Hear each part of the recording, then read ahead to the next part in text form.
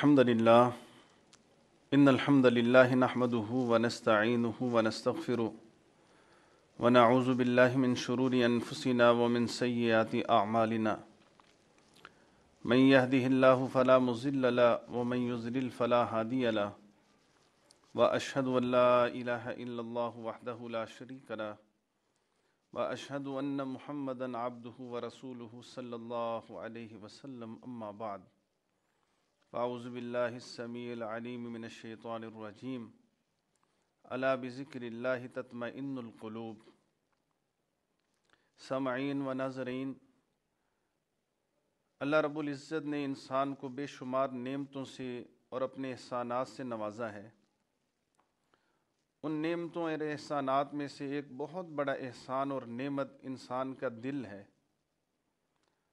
अलैहि वसल्लम का इरशाद गिरामी है, आपने फरमाया, इंसान के दिल के अंदर, इंसान के जिस्म के अंदर एक लोथड़ा है, अगर वो सही हो जाए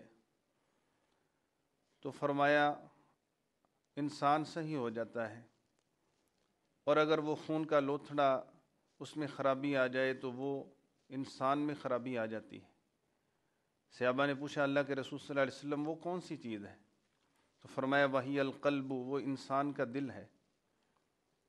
मेरे अज़ीज़ भाइयों, इंसान का दिल इतना ज़्यादा रूहानी ज़िंदगी के लिए भी अहम है, जितना जिस्मानी ज़िंदगी के लिए अहम है। जिस तरह दिल धड़के तो ज़िंदगी है, और अगर दिल बंद हो जाए तो इंसान मर जाता है और ख़त्म हो जाता है। इसी तरह रूहानी ज़िंदगी के लिए जो आखरत की ज़िंदगी है, उसके लिए दिल का बेदार रहना, दिल का साफ़ सुथरा होना बहुत ज़रूरी है। और दिल तो वैसे भी अल्लाह ताला की नज़र का मरकज़ है। अल्लाह ताला तो इंसानों के जिस्मों की तरफ़ नहीं देखते। आपका फरमान है इन इला सुवरिकुम व अमवालिकुम अल्लाह तुम्हारी सूरतों और माल की तरफ़ नहीं देखता। अल्लाह ताला तो तुम्हारे दिलों की तरफ़ देखता है। तुम्हारे अमाल की तरफ़ देखता है। तो ये तो अल्लाह की नज़र का मरकज़ है। जहाँ अल्लाह की नज़र पड़नी है, वो दिल अगर गुनाहों की मैल से स्याह हो चुका है तो बताएँ, फिर अल्लाह ताला के हाँ इंसान की मकबूलियत कैसे हो सकती सामीन इकराम व नाजरीन, दिल इतनी अहमियत रखता है कि इंसान के पास सबसे कीमती चीज़ ईमान है।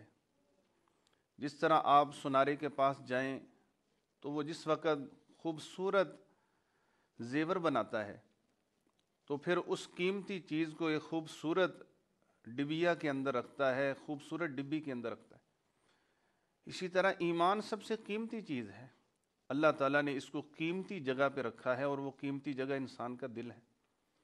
कुरान में अल्लाह फरमाते हैं वज़ैया नहूफ़ी कलूबिकुम और हमने इस ईमान को तुम्हारे दिलों के अंदर मुजयन कर दिया, खूबसूरत बना के रख दिया। मेरे अज़ीज़ भाइयों और नाजरीन और सामीन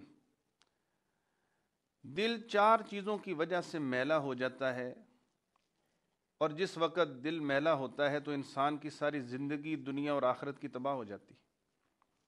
समूमकल्बी अरबा, चार चीज़ें दिल को ख़राब कर देती हैं और दिल को मैला कर देती हैं और उससे नूर को रोशनी को जो है वो अंधेरों में और जुल्मत में बदल देती और वो चार चीज़ें मैं आपके सामने रख देता हूँ।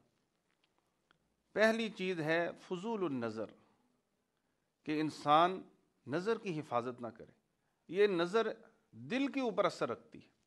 जिस चीज़ को आप देख लेते हैं, जिस वक्त आप अलग होंगे, अकेले बैठेंगे, वो चीज़ आपको बार बार जहन में आएगी।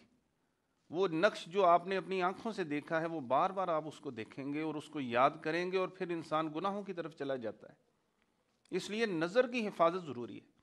आप सल्लल्लाहु अलैहि वसल्लम ने हज़रत अली रज़ी अल्लाह तु को फरमाया कि जिस वक़्त किसी औरत के ऊपर अचानक नज़र पड़ जाए, जो गैर औरत है तो फरमाया इस सिर्फ़ बसरक, उसी वक़्त नज़र को फेर ले। फ़िन लकल ऊला वाली लकल आखिरा। पहली तुम्हें माफ़ है और दूसरी तुम्हारी तुम्हें माफ़ नहीं की जाएगी। और समईन जो दूसरी चीज़ दिल को ख़राब करती है, वो फजूल कलाम है, कि इंसान अपनी ज़ुबान की हिफाजत ना करे।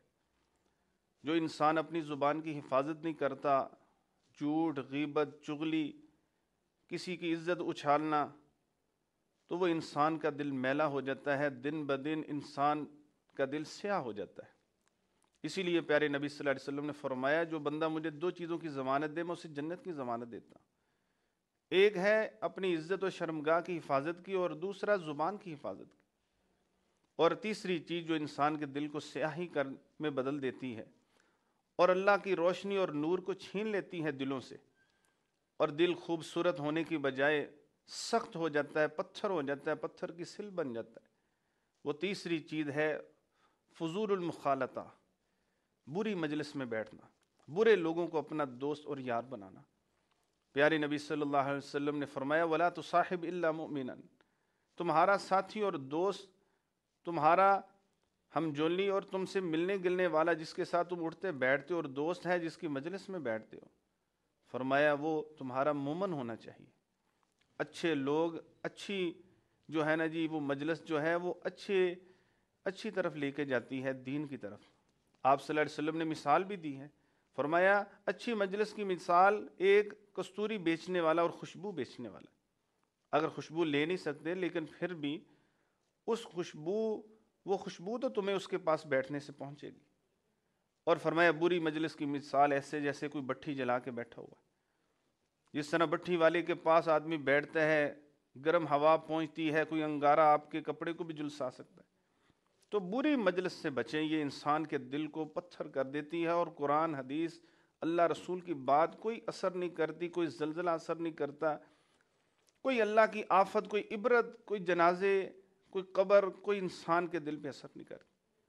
और चौथी और आखिरी चीज़ जो इंसान के दिल को सख्त कर देती है, अल्लाह हमें उससे बचाए, वो है फजूल ताम। इंसान अपने पेट को भरता जाए खाने से।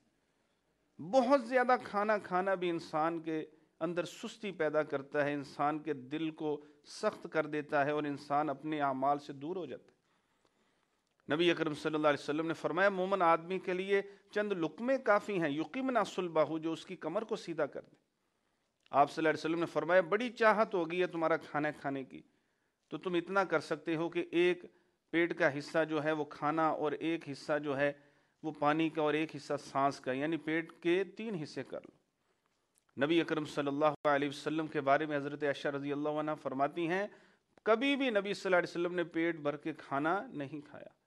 दुनिया के अंदर जितने लोग काम करने वाले हैं और जिनके नाम मौजूद हैं और जिन्होंने दुनिया के तख्ते और तारीख पे नाम लिखे, आप उनकी हिस्ट्री पढ़ के देख लें, उनकी गज़ाई मामूलात को देख लें। इंतहाई कम और छोड़े, अल्लाह ताला हम सबको इन चारों बुराइयों से बचाए। और अल्लाह रब्बुल इज़्ज़त हमारे दिलों को नूर से भर दे, ईमान से भर दे और रोशन कर दे और गुनाहों की स्याही से बचाए। आमीन व आखिर दावाना अलहमदिल्ला